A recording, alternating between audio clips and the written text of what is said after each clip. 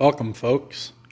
Those who have been around the channel for a while will recognize this as my seven and a half inch gauge locomotive that adults and children can ride behind.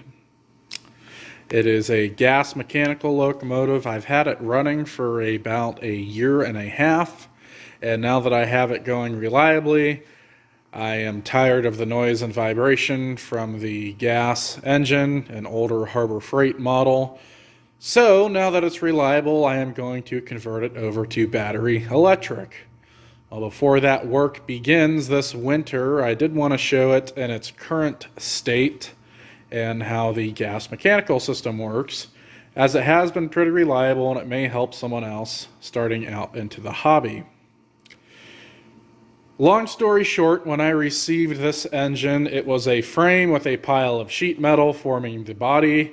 It did not have any wheels, axles, bearings for the axles. Basically, it was just the motor, a forward and reverse gearbox, and the shell and pieces, and I had to put it all together. I did so without using a lathe. I bought the wheels, 5 inch wheels, off of Roll Models Inc. out of California. They were a little bit too wide to fit in the frame, so I had to use a lathe to thin them up a little bit, still within the IBLS standards or International Brotherhood of Live Steamers. And it runs great. Haven't had it derail, but the point of that statement is is that I do not have a lathe or milling equipment. I do have access to a welder and torches as you see there, but I do not have machine equipment. So just with a file a hacksaw, and some very basic tools, I was able to put this locomotive together. Now, if I was sitting on a riding car behind a locomotive operating it, there are a handful of controls back here. There are a set of three switches. They're in the center, one being the ignition, the other one the light, and the third one not being used, just filling the blank hole.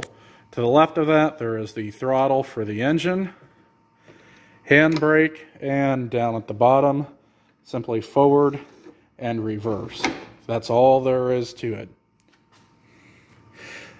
This engine does not have a clutch. Simply when you throttle up, the centrifugal go-kart type clutch engages and you start moving. The tricky bit with that is you have to be very touchy uh, with the throttle here, just the slightest movements and you'll start moving and, and if you're not careful you can spin the wheels quite easily, especially if you're on slippery track.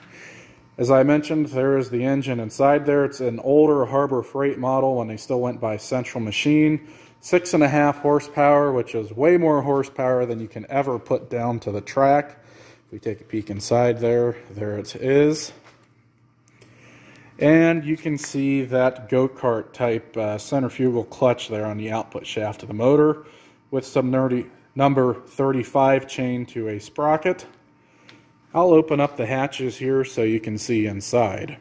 Before I do so, notice this engine is about 25 pounds or so, 25 to 30. It's hanging off the back end of the engine. Look at where my axle centers are at.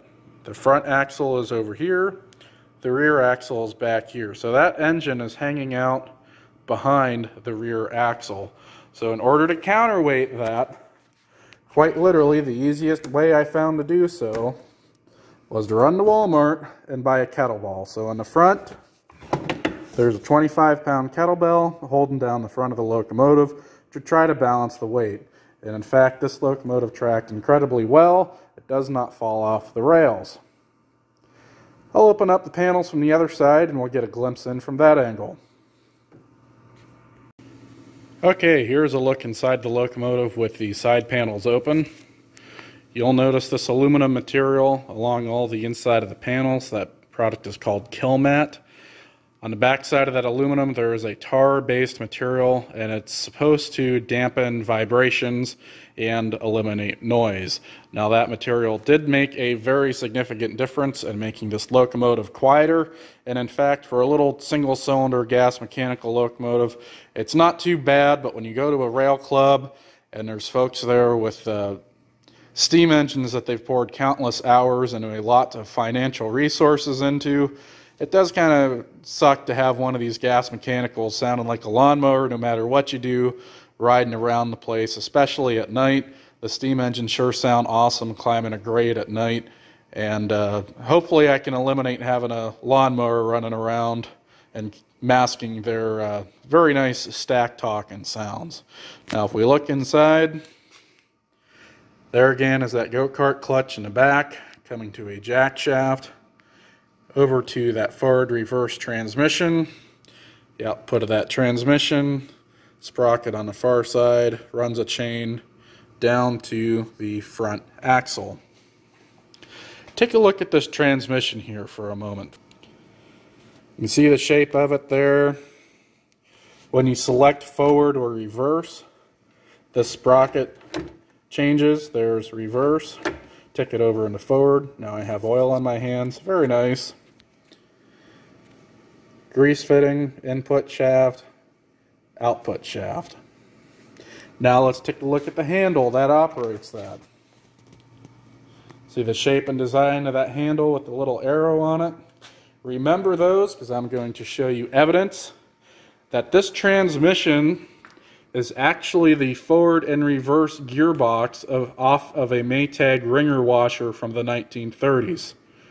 Let me show you evidence of that. Okay, we moved out to the barn. I told you that forward and reverse gearbox was off of a Maytag wringer washer from the 1930s. Well, I happen to have a Maytag wringer washer from the mid-1930s. This has actually been in my family for, uh, well, ever since it was new, actually. And if we look over on the right-hand side, notice that shape. Notice that handle is the same as the forward and reverse handle on the locomotive. That forward and reverse gearbox is the exact same uh, gearbox off of a Maytag washer. These wringers, if you didn't know, in the center is neutral. The wringers are not turning. Depending on which way you angle that knob is uh, which way the clothes would feed through that wringer. So there's your forward, neutral, and reverse, same as what's on that gearbox in a locomotive. Now, why is this a problem? Honestly, that gearbox held up, but I am concerned because the gas engine that was on these Maytag washers is only rated at 0.65 horsepower, 5 eighths of a horsepower. Meanwhile, that gas engine in that locomotive is six and a half horsepower. So I am worried uh, about the longevity of that gearbox if I kept it a gas mechanical, if that gearbox would just uh, decide to grenade and give up on the locomotive. Okay, so we've moved back into the much warmer garage. So what is the goal here? Well, as I said, we are going to be converting it to a battery electric locomotive. I have space for two large 100 amp hour scooter batteries totaling 200 amp hours, which I believe should be plenty of power to run this locomotive through an average running day, plus run a sound system or an air and or an air compressor for air brakes. I've already compiled a lot of the parts for it, one of those being a uh, 24 volt motor. This happens to be 450 watts and I will have one of these motors on each axle given that there are two axles totaling 900 watts. One of the big advantages here, this is a gear reduction motor. You can see where the center of the motor is. There's a small gear there and a large gear under this cover. So what that means this sprocket's turning about 420 RPM at full output speed. And if I try to remember my calculations correctly, I believe for a 5 inch diameter wheel, somewhere around 366 RPM is 5 miles an hour, which is plenty fast enough for something that doesn't have trucks. This will bob down the track pretty good. You really don't need to go much faster than that, especially when the, uh, the point is going for the ride, not necessarily speed of getting to the destination. So it won't take a whole lot of sprocket and gear reduction there. Now, if you were just ran a straight motor, not a gear motor, some of those motor output shafts are 2500 RPM. You have to have a lot of chains and sprockets and jack shafts, which creates a lot of noise. This gear motor is pretty darn quiet. So the shell here is uh, not exactly prototypical. None of the locomotive really is. Of course, it's labeled a Davenport from the Davenport Locomotive Works in Iowa.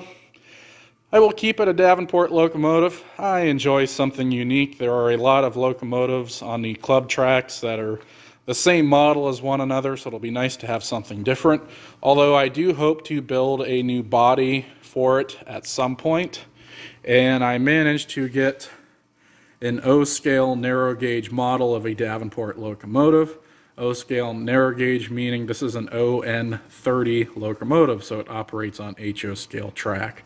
I bought this so I have something to take some measurements off of so I can uh, scale that body into my seven and a half inch gauge locomotive, which comes out at two and a half inches to the foot to the prototype. Well, that should do it for this installment. Uh, as I said, I already have a lot of parts for it.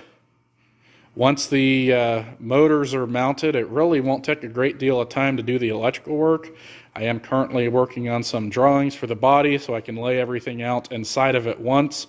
If I do get to that point of building a new shell, I shouldn't have to move any of the components. To get an idea of the noise, here it is running at idle. You can probably tell I'm kind of yelling over the darn thing. And believe it or not, it's actually uh, quieter than some other gas mechanical engines. But we are inside of the garage, so it probably seems a lot louder in here than it would outside. Regardless, this is just that idle, and uh, as you turn the throttle up, it only gets worse from here. It can nudge it a little bit.